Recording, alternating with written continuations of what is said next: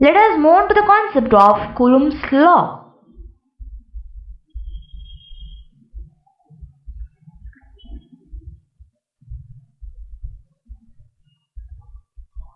So this person called as Charles Augustin de Coulomb. So because of this person, this law is called as Coulomb's law. The force between two charged bodies was studied by Coulomb in the year of 1785.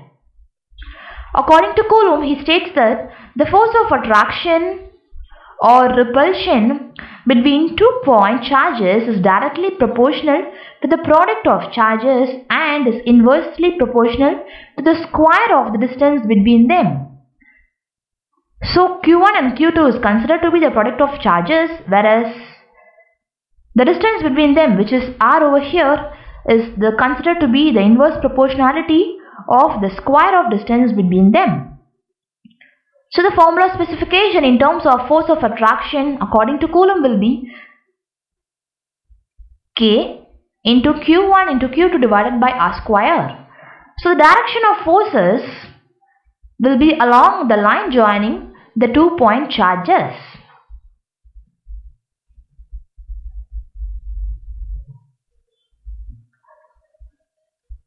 Let us consider Q1 and Q2 be the two point charges which is placed in air or vacuum at a distance r. Then according to the Coulomb's law we can derive force which is proportional to Q1 into Q2 divided by r square. Or else we can deploy it as F equal to K into Q1 divided by Q2 divided by R square. Over here, K is nothing but the constant of proportionality.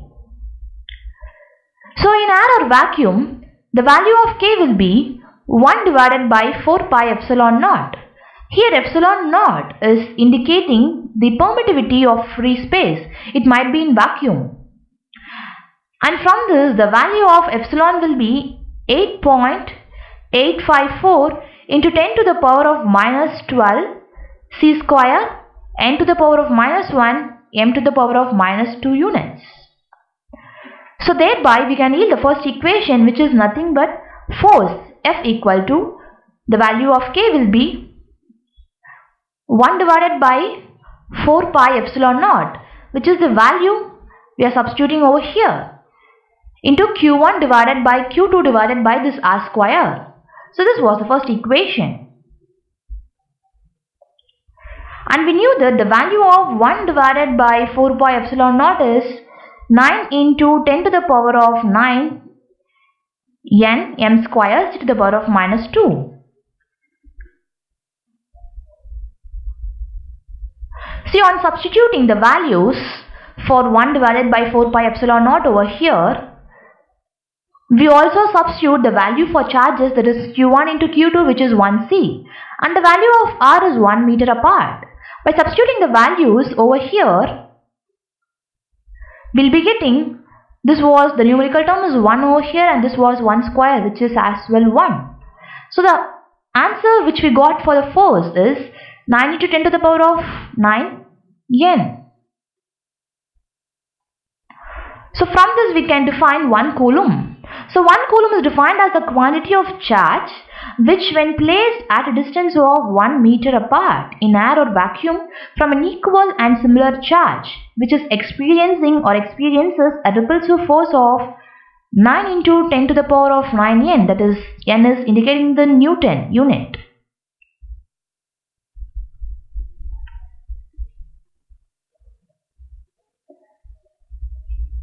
Apart from this, if the charges are situated in a medium of permittivity, the first thing which we have seen is in a medium of vacuum or as free space. We have considered vacuum as well. Here we are considering the medium of permittivity that is epsilon. Then the magnitude of the force between them will be Fm equal to 1 divided by 4 pi epsilon into Q1 Q2 divided by R square. Where we knew that F is indicating the Coulomb's force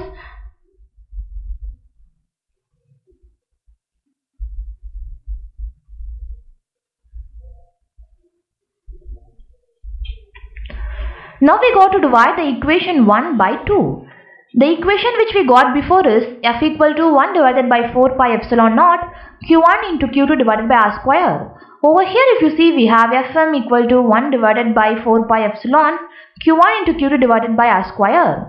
On dividing these two equations that is dividing equation 1 divided by equation 2 we'll be having f divided by fm which is equal to this term this 1 divided by 4 pi and 1 divided by 4 pi on both the sides will be getting cancelled. And as well, q1 divided by q2 divided by r square is similar on both the cases. On dividing it, it will be getting cancelled. The only thing which will be having over here is epsilon naught and epsilon. So f divided by fm equal to epsilon. So this will be having the reciprocal. So we'll be having epsilon divided by epsilon naught which is nothing but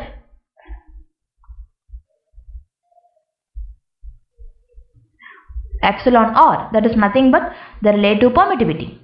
We knew that the ratio of epsilon divided by epsilon naught equal to epsilon r which is considered to be the relative permittivity or as we can say the dielectric constant of the medium. So the value of epsilon r for air or vacuum will be 1. Since as we got fm equal to epsilon divided by epsilon naught by, by gradually we can deploy the force between two point charges depends on the nature of the medium in which the two charges are situated.